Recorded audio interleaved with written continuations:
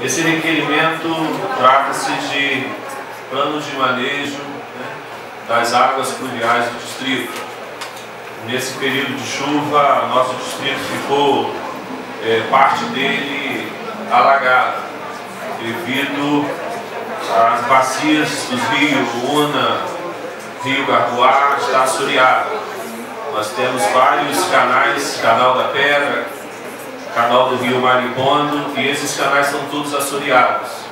E devido ao excesso de chuva, nós ficamos lá num, total é, desequilíbrio dentro dessas águas, onde não tinha para onde ela escorrer, sair pra, para os canais. Então, o OSES fez esse requerimento pedindo à Secretaria de Ambiente para que nós possamos discutir isso de forma mais ampla.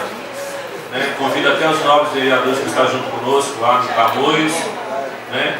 Rafael Peçanha, o Rodolfo, são vereadores lá do distrito, o Edilan, o Alencar, o Vinícius Correia, todos os novos vereadores, para que nós possamos traçar um plano de manejo para essas águas.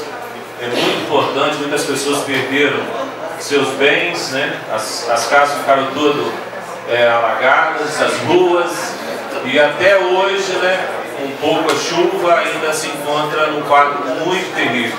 Então eu convido aí o apoio dos vereadores, da presidente da casa, da mesa diretora, para que nós possamos discutir isso em altíssimo nível, para resolver esse caso tão importante lá no distrito.